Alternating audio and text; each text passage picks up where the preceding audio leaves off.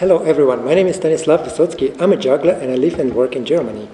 I'm making this video blog because many of my artists, of my friends, artists, uh, ask me how do you get your jobs in German varieties?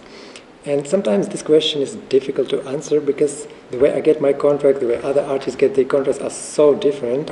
So I thought mm, this is actually a good idea to make a video blog about this topic, German varieties and circus uh, where I will share my experience and also take interview with other artists, and so they can share their experience and tell us how they do it, and tell us some interesting stories. And believe me, there are a lot.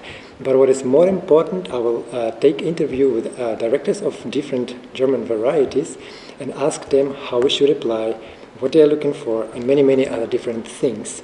This video blog I will make on my existing YouTube channel, Stanislav Vysotskyi, so don't forget to subscribe so you don't miss some interesting or important videos for you. And I have already prepared some really good interviews coming soon, so I'll see you later. Bye bye.